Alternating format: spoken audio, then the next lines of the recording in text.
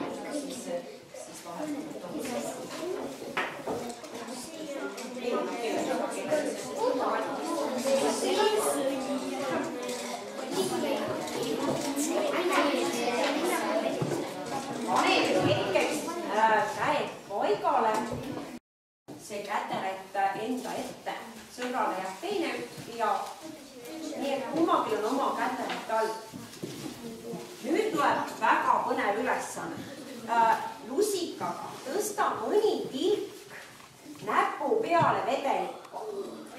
katsu teda, hõõru kahte näppu kokku ja tunneta, missugune tunne sul tekib, kas äh,, millised mõtted sul sellise tegevuse juures tekivad.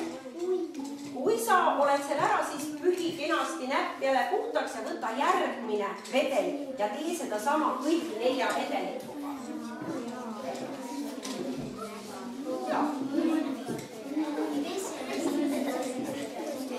siit läks see pealt, jah, ja pärast võivad teile uuesti ära, täitsa, pühi näpp täitsa puhtaks, võta järgmine vedelik ja jäta meelde, missugune tunne sul tekib selle vedeliku katsumisel. ja võid silmad kinni panna, Mart paneb silmad kinni, täitsa õige mõte, siis saab täitsa õige tunde kätte. mis see, mis tunne tekib meie näpu vahel hoida? mõni tilk ainult ja palju ei ole vaja, mõni tilk. ei ole hullu. näed, peaasi, et riiete peal ei. ja katsu, kuidas see tunne tekib. jäta siis meelde, hilisema tekib kõige põnevam tunne.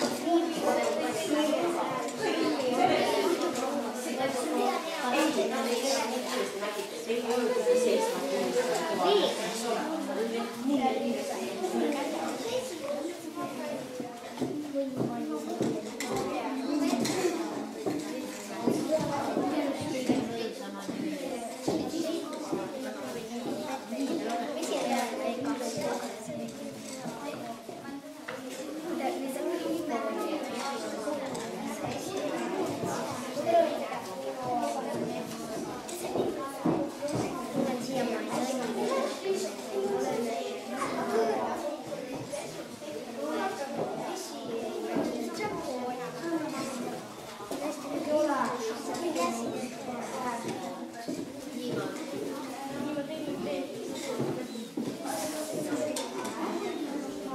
seda siis kõigi nelja vedelikuga.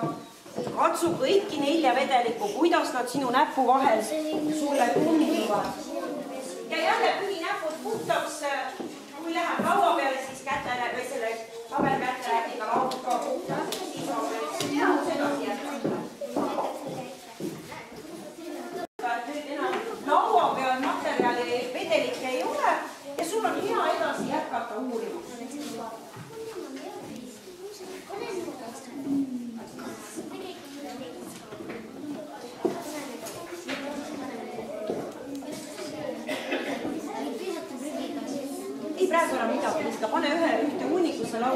Peale ja pärast siis.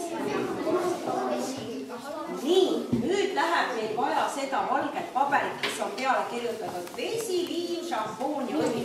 tõsta see kahe vahele töölaua peal, nii et see oleks sinu ja sõbra vahepeal.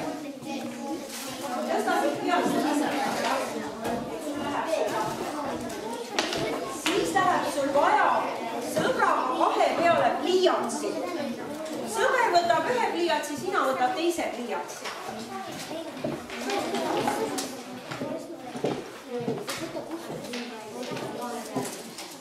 nüüd läheb meil vaja seda vahapaberit. ja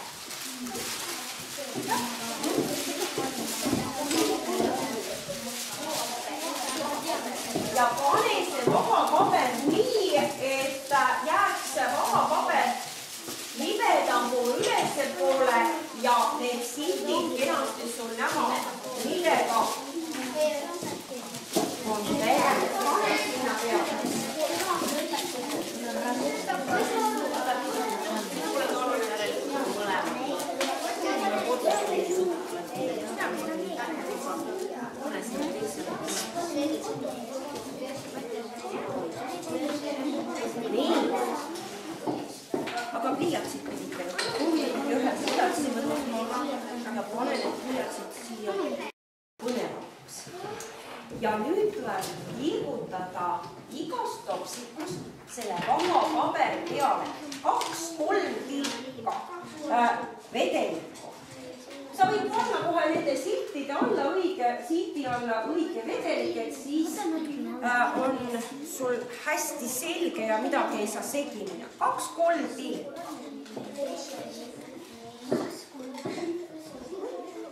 Ja vaata, mismoodi need vedelikud nüüd seal paberi peal, vahapaberi peal käituvad.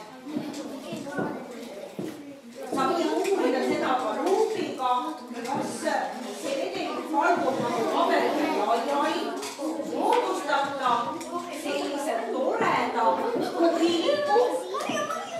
vaata läbi luubi, suurendusklaasi, mismoodi see vedelikult käitub kas nad teevad kõik ühesuguseid kuhilikke või on nad natuke üksteisest erinevad?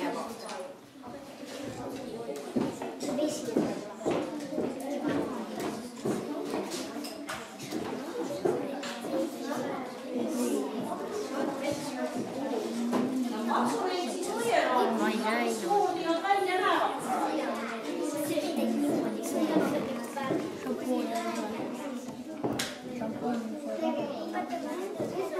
Läksid kuhugi väga, siis on see võimalik väga põnev, eks ole.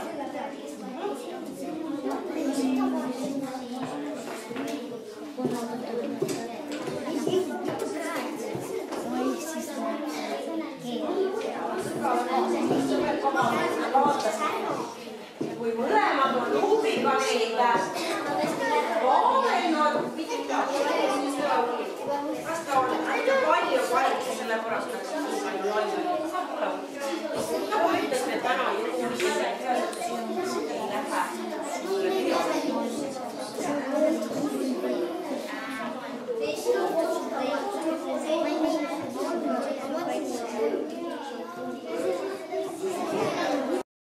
meil on tilgad siin üleval tõstes üles vaata, mismoodi see vedelik siin paberi peal hakkab toimima. mida ta otsustab teha? tõsta sõbraga koos ja vaata, mismoodi nad